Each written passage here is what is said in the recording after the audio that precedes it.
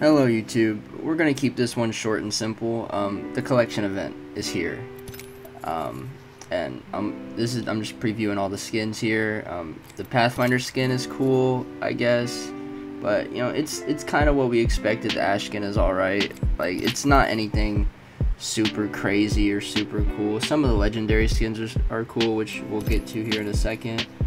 Um, but it's like it's it's just ridiculously overpriced. Like we got to be honest about that, right? Like, you know, you know, 10 bucks for one for each of these skins, right?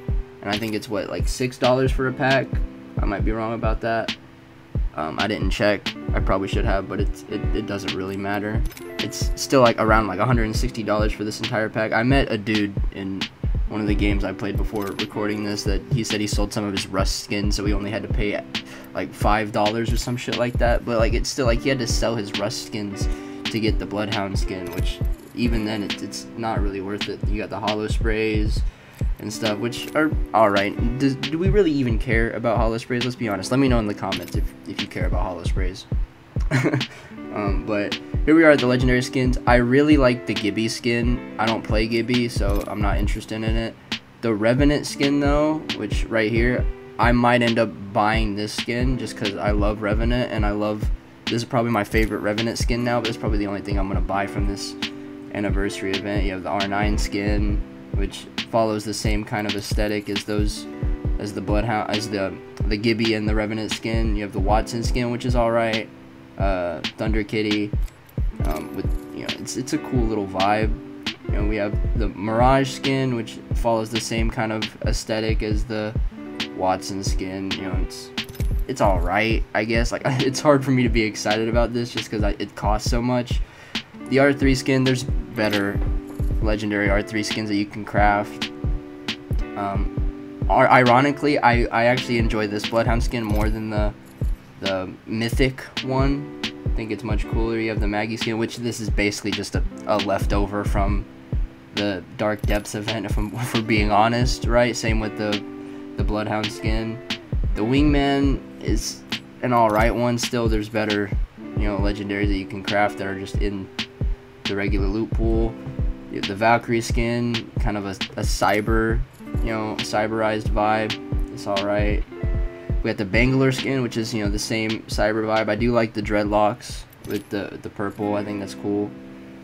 Um, and then we have the, the Volt skin, which I think is honestly probably one of the coolest skins in, in the event. Um, I'm still going to rock the reactive one. But here we have the Bloodhound skin. Um, and it, it's upgradable. And if you see in the bottom right, um, this is what I said in my, my thoughts video, my last video, where, you know, do challenges and stuff. But, I mean, you still have to pay for it.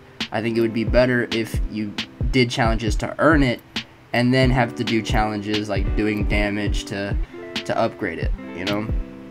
I think or maybe it would be it would be a cool idea to have them upgrade in game. You know, have the skin upgrade in game kind of like it does with the reactive skins, but here we are to the uh, free stuff that you get from the challenges. Um, I do really like this loading screen, this this fan art. I think that's probably my favorite thing out of this. Now, I wasn't able to zoom in for some reason when I was looking at these, uh, but that is um, fan-made uh, weapon charm. That's fan art. Um, we have, you know, the holo sprays that you get, which I'm never gonna use. Just that's just me. Rampage skin is actually really cool. I really do like that Rampage skin. We have the We're Better Together